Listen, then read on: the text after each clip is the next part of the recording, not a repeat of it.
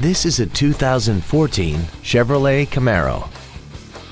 This car has a manual transmission and a 6.2-liter V8.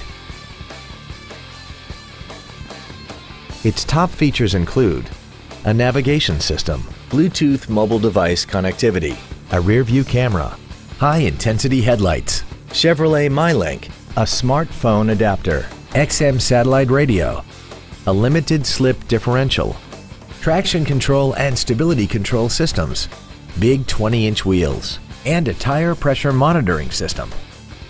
The following features are also included.